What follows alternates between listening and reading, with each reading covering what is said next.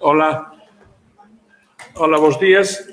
Eh, como sabedes, eh, esta é unha xornada moi especial que ten unha protagonista que é Elena Colmeiro, que forma parte de, dunha serie de actividades que a Comisión de Igualdade só ou con outras seccións da, da, do Consello organiza en torno a unha figura femenina e este ano, pois, eh, é un honor que poidamos dedicarlo a Elena Colmeiro, que ademais está aquí presente e que depois supoño que terá ocasión de falar e de expoñer eh, o seu punto de vista distinto ao que nós expoñamos aquí.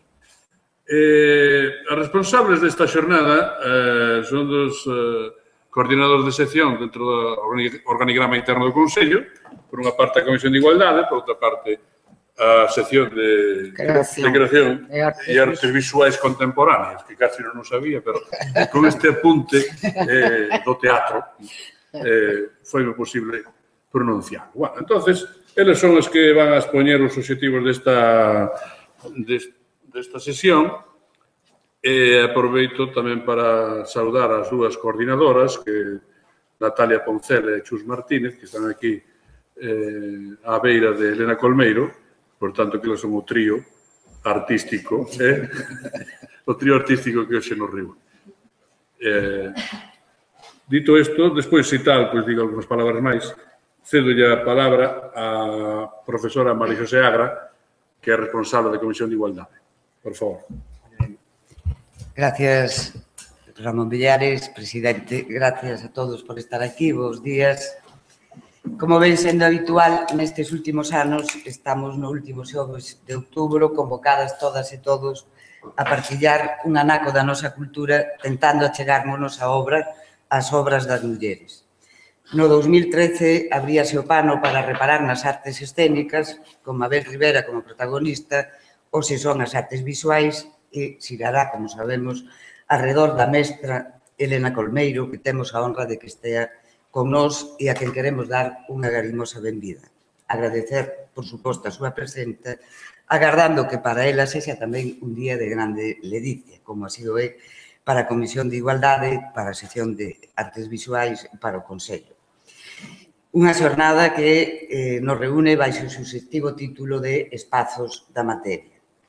Ben é sabido que a Comisión de Igualdade concibe esta xornada dende a súa primeira edición como un espazo de visibilización de transmisión de coñecemento, de reflexión e debate, mais tamén de recollida de información e documentación que toma corpo nun espazo, nunha cartografía para o álbum de mulleres, o noso punto de documentación digital que logo vai ser presentada ca cartografía sobre Elena Colmeiro. No álbum de mulleres están as biobibliografías das nosas pioneiras e sobranceiras no ámbito das artes visuais, maioritariamente pintoras, María Corredoira, María Antonia Dans, Maruja Mayo, Mercedes Ruibal, Elisa Santís ou Concha Vázquez. E tamén outras máis próximas ao ámbito que nos convoca, como Carmen Arias Menina nas artes decorativas e Dolores Rodeiro Boado, que é a única escultora que se ten noticia no século XIX e a única galega documentada ata o século XX. Quen traballa coa madeira, material que Colmeiro ven tamén de empregar na súa obra, tendo experimentado con ferro, arame, carbono de silicio, cemento, refugallos. O álbum de mulleres conta tamén cun especial Mulleres e Artes Visuais. A sección de Artes Visuais e a súa coordenadora, Marisa Sobriño, teñen feito e están a desenvolver un importantísimo labor sobre as mulleres artistas no noso país. Posto que hoxe A nosa mestra é Elena Colmeiro, a ceramista, a escultora, Compre salientar que ela é unha referencia indispensable neste ámbito da arte contemporánea, tanto pola súa obra como pola súa gran influencia, cun bo número de discípulas e discípulos, figurando nos textos de arte, con gran recoñecemento alén das nosas fronteiras. E dado que, segundo manifesta ela mesma cando é entrevistada, gustalle dicir que ten mans de traballadora, que o traballo das mans conleva un proceso lento e que, como sabemos, busca e traballa co torno. Volvín entón a outra entrada do álbum de mulleres que é Mulleres na Olería de Buño. Nela podemos ler que as tarefas das mulleres son consideradas auxiliares e que son aquelas nas que se require máis paciencia e precisión Pero, vendo todas as tarefas que leva consigo o traballo da olaría, achamos que as mulleres fan de todo, e traballo duro tamén. Recollen e preparan a materia prima, van aos barreiros ou pozos, onde o barro ten as súas distintas cores e texturas, pisan e peneiran, son escardeleiras, carrexadoras, lameadoras, fan os fumes, enfornan, aínda que non dirixen a fornada, e poden facer pezas a man. Pero que ata aí ben pouco non podían facer, non lles estaba permitido era usar o torno ou a roda, como ali lle chaman, en Buño. Tamén diso dá a conta un mito recollido, eh, non publicado, que eh, o meu colega e amigo catedrático de Antropoloxía Social, Marcial Gondar, me permite hoxe ler aquí e que di o seguinte. É o mito dos poucos que hai recollidos en Galiza da muller oleira, recollido nas terras de Buño. O mito di, No principio dos tempos, o Sol e a Lúa vivían na Terra e eran matrimonio. Daquela, o Sol e a Lúa saían os dous polo día. O Sol mandaba nos homes e a Lúa nas mulleres. O Sol foi quen lle deu o lume aos homes e ensiñoulles a traballar de ferreiros. A Lúa era oleira e ensinoulle o oficio ás mulleres. Pero a Lúa foi infiel ao Sol e este decidiu abandonala e marchou para o cero. A lúa foi detrás del para facer as paces. O sol non só non quiso saber nada, senón que ademais proibille sair de día. Ás veces a lúa non lle facía caso e sale, por iso hai eclipses, pero desde aquela non se volveron a levar ben. Os homes aprenderon do sol que non podían fiarse das mulleres, das mulleres porque eran como a lúa. Prohibironlle sair da casa e só as deixaban sair a buscar barro pola noite, pero como vían mal, o seu barro era de mala calidade e, por consecuencia, as pezas tamén. Como os homes querían ter boas olas e cacharros para as festas, espiaron as mulleres para ver como traballaban o barro e así aprenderon o oficio. Eles, como ían de día, a buscar o barro facían pezas fermosas. A historia remata dicindo Por iso hoxe as oleiras fan pezas de batalla e son os homes os que fan as pezas bonitas. Non fan falla comentarios. Elena Colmeiro manese a roda e segue buscando. Tamén lle gustan as fábricas e construe. Sinte a necesidade de expresarse, de expresar o que se ve e o que non se ve, o exterior e o interior, acreditando que os defectos técnicos son palabras súas dunha peza, ás veces enriquecen esa peza. E faino, sendo muller, traéndolle sin cuidado a opinión da sociedade, aplicando toda unha filosofía. Non hai corte entre vida e traballo. Fronte ao mito, e por se aínda hai dúbidas, miren as súas obras, en particular unha cerámica de 50 por 52 por 12, unha inmensa bola de pan que logo teremos ocasión de ver na presentación da cartografía. Vendo, vendo a veñen má cabeza as verbas de María Reimóndez. Nosoutras tamén cocemos e por iso aspiramos o pan enteiro. Para a Comisión de Igualdade hoxe é un día grande. Agradecemos a Elena Colmeiro compartir con nós o seu traballo, a súa mestría, a súa ousadía, por ternos feito disfrutar das súas cores azuis, dese mar, dese ceo que tanto quería tamén a nosa compañeira de soños, Begoña Camaño, a quen queremos lembrar hoxe aquí a todas estas mulleres que día a día traballan compañeiras de soños, se les aplica aquilo que decía a filósofa Ana Arendt. Somos o que vivimos.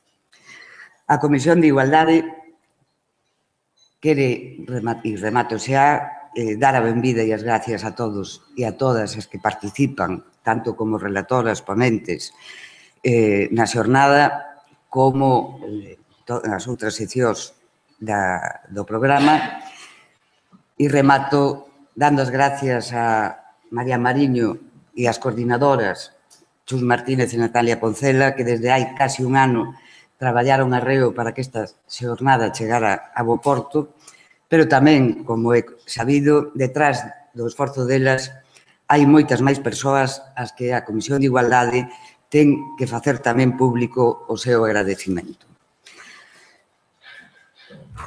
a Elena Colmeiro, a Luis Cortese, a Antonio Garrido Moreno, a Carmen Vidalaje, a Antonio Vivas Zamorano, a Raquel Barrio Nuevo Pérez, a Compañía de Radio e Televisión de Galicia, ao Arquivo de Migración Galega, ao Museo Provincial de Pontevedra, a Revista Cerámica, El Correo Gallego, Diario ABC, Diario de León, Revista Art, La Vanguardia, La Voz de Galicia. E, por suposto, Agradecemento tamén aos persoal do, do Consello da Cultura que participou en, en a posta en marcha das actividades que imos desenvolver.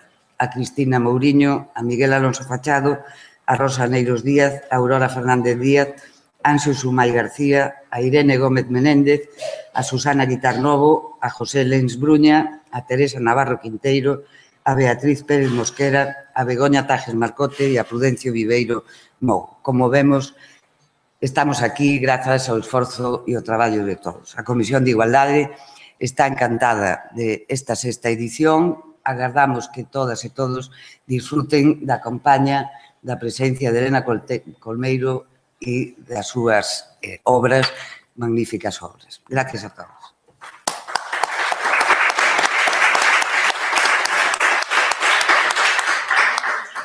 Moi ben, pois agora é o turno de Marisa Sobrino Eh, responsable da sección de creación de artes visuais. Bueno, eu vou ser máis breve que María Xosé. Bueno, o primeiro que teño que decir é que para min é unha honra moi particularmente grata participar en a presentación deste homenaxe á escultora Elena Colmeiro. Unha proposta que surxe de, da sección de Igualdade do Consello da Cultura Galega e que foi en gran parte elaborada pola nosa sección de creación e artes visuais contemporáneas, con, concretamente por Natalia Poncela e Chus Martínez, a, quen debe, a quenes debemos esa labor de recollida, de recuperación e investigación sobre a traxectoria desta grande escultora galega. Na introdución dos textos que estamos a facer sobre as narrativas artísticas creadas por mulleres, e concretamente nun informe sobre este tema próximo a publicarse polo Consello, refírome ao análisis concretamente a ese estudo que hicimos sobre a visibilidade das mulleres artistas nas exposicións de Galicia, en Galicia, que é un, un informe que vamos a a publicar próximamente, sinalo sempre que a muller que se dedica ao mundo de arte non só necesita talento e creatividade, senón algo que é máis difícil, que a trayectoria desta muller sea tamén unha carreira de fondo.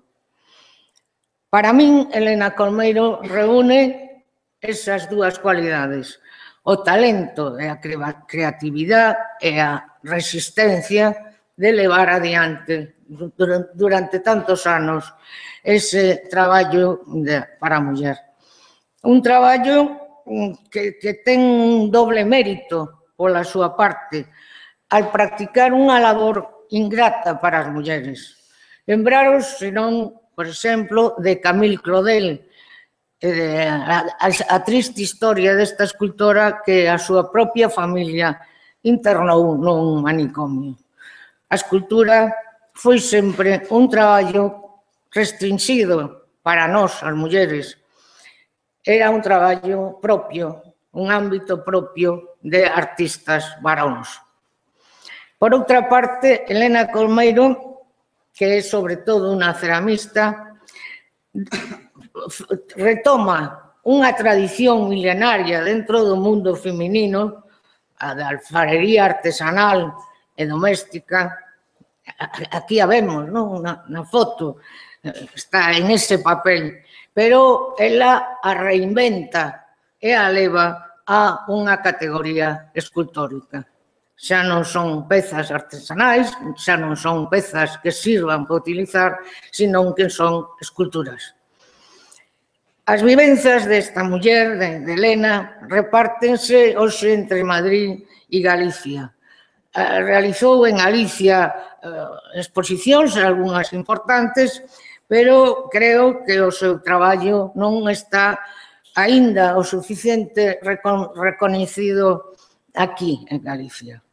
Esperamos que nas imaxes eh, que imos a ver e nas palabras que que se lle dedicarán ao longo desta xornada, quedará suficientemente representado este arduo camino de unha muller artista, unha muller que é unha das grandes ou a máis grande representante da escultura galega contemporánea. Nada máis.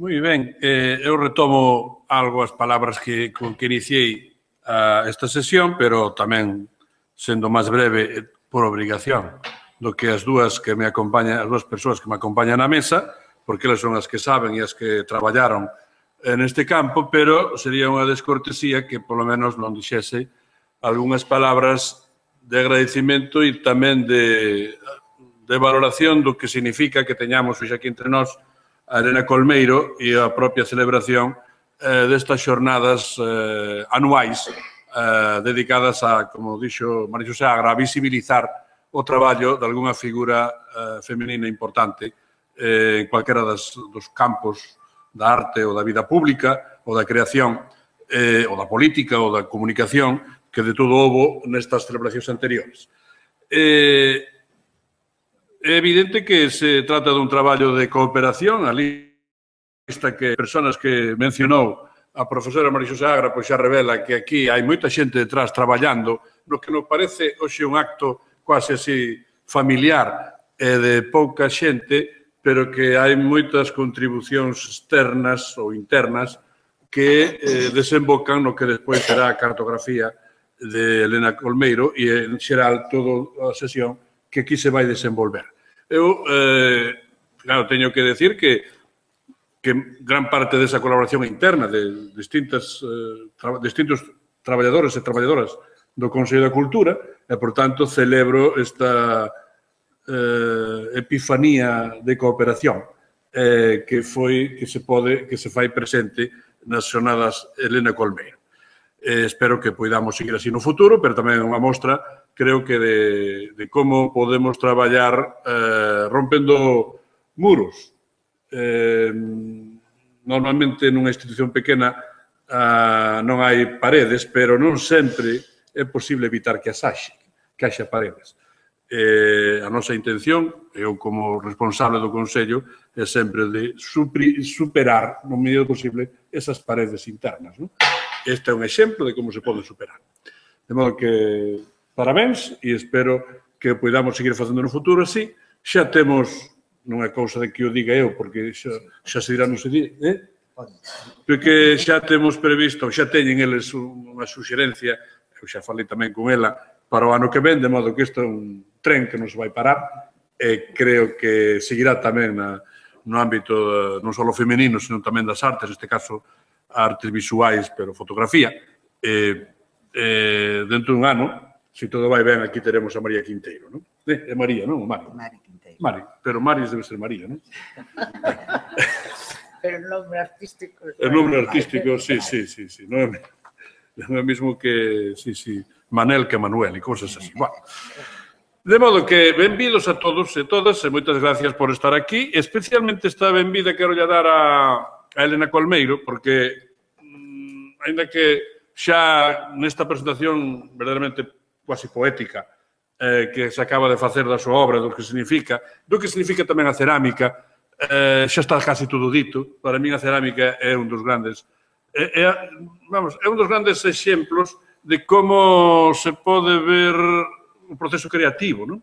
Porque dunha masa informe de barro, ou do que sexa, ou de, de cualquier, de, de, sexa barro dun, dun estilo ou do outro, está, está, é posible sacar as pezas máis e os objetos máis eh, belos, máis guapos, máis eh, máis útiles tamén.